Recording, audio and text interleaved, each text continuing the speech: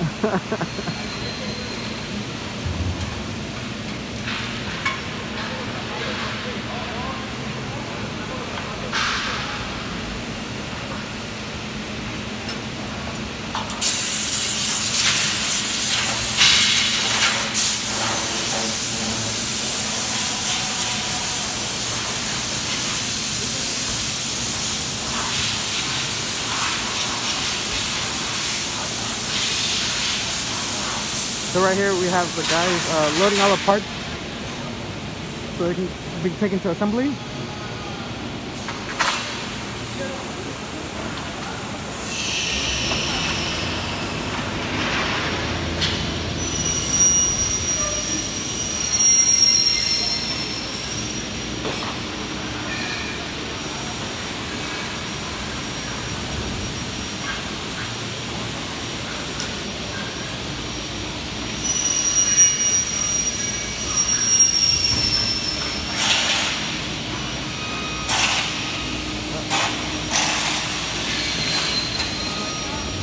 You're supposed to guide me from behind.